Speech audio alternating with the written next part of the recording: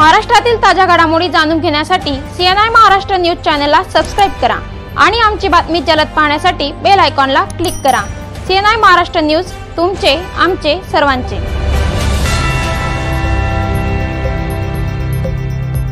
नगर देवळा इथून जवळच असलेल्या घुसरडी शिवारात शॉर्ट सर्किटमुळे लागलेल्या आगीत एकरभर मका व ठिबक जळून खाक झाल्याने शेतकऱ्यांचे एक ते दीड लाखांचे नुकसान झाले असून महावितरणाने पंचनामा करून नुकसान भरपाई देण्याची मागणी शेतकऱ्याने केली आहे.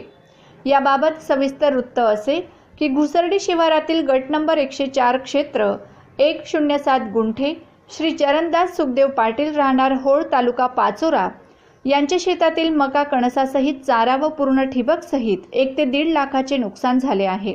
दुपारी शेतातील तारांच्या घर्षणाने ठिणगी पडून लागलेल्या आगीत ऐन काढणीवर आलेला संपूर्ण मका जळून राग झाला आहे. त्याबरोबरच शेतातील ठिबकही पूर्णपणे जळाले आहे.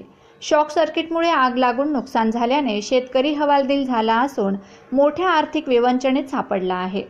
ऐन तोंडाशी आलेला घास गेल्याने शेतकऱ्याच्या डोळ्यात पाणी आले असून महावितरणाच्या अधिकाऱ्यांनी तातडीने पंचनामा करून मदत द्यावी अशी मागणी शेतकऱ्यांनी केली आहे.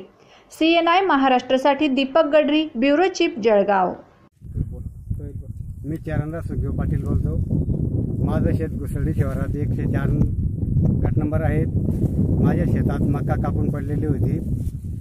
शॉर्ट सर्किट होऊन तर सर्व मक्का जळून खाक झाली ठिबक पैप सर्व चक झालेले. तरी मी शासनाला विनंती करतो की मला काहीतरी भरपाई भेटायला पाहिजे. वीज बोराडाकडून हो का शासनाकडून? हेच मी विनंती करतो. आजपर्यंत कोणी तुमच्याकडे येऊन गेलं का? नाही का आजपर्यंत कालची घटना झालेली आजपर्यंत कोणी झालेलं नाही. पंचनामा झालेला नाही आजपर्यंत.